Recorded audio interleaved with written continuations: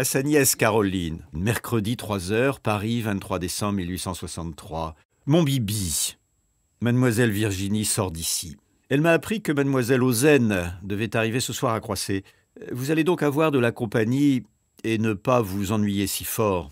Je plains moins ta grand-mère d'être dans son lit par le froid horrible qu'il fait. Avez-vous reçu les dredons? Je n'ai aucune nouvelle de la féerie. Voilà deux jours que Panière, d'après une lettre de lui, doit venir me voir. Et je l'attends en ce moment même. Saint-Victor m'a dit que le directeur des variétés en avait envie. Il n'y a donc rien de fait, comme tu vois. Maintenant, causons de la grande affaire.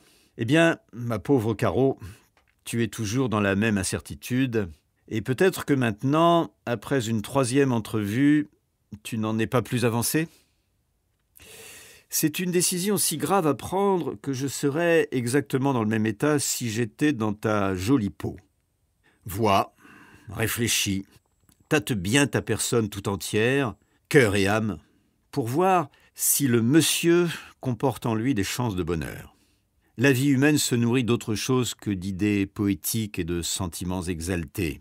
Mais d'autre part, si l'existence bourgeoise vous fait crever d'ennui, à quoi se résoudre?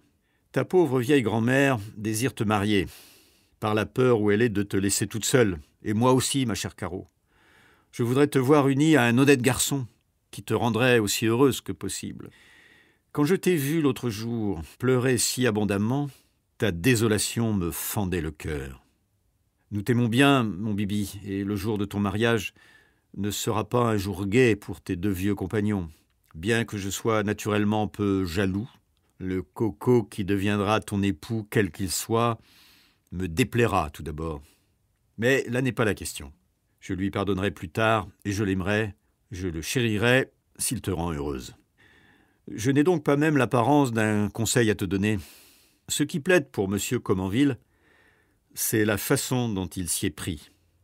De plus, on connaît son caractère, ses origines et ses attaches. Chose presque impossible à savoir dans un milieu parisien. Tu pourrais peut-être ici trouver des gens plus brillants, mais l'esprit, l'agrément et le partage presque exclusif des bohèmes.